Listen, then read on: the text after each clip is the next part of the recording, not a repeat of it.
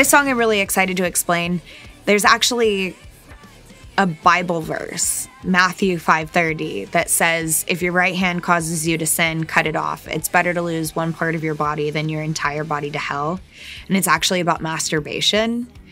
And what some people may not know about me is I have my own sex toy, and so I'm very open about my sexuality and growing up I was shamed you know by my religion for exploring and I was in this place where I was angry. I had just learned a lot about myself and what had caused me my anger, and I'd learned to honor my anger and treatment. And so I wanted to write a song that basically was taking my power back in my sexuality. I love the praise that's like, cut it off, cut it off, cut it off, cut it off. Unless you know the meaning behind the song, you're just kind of like, what?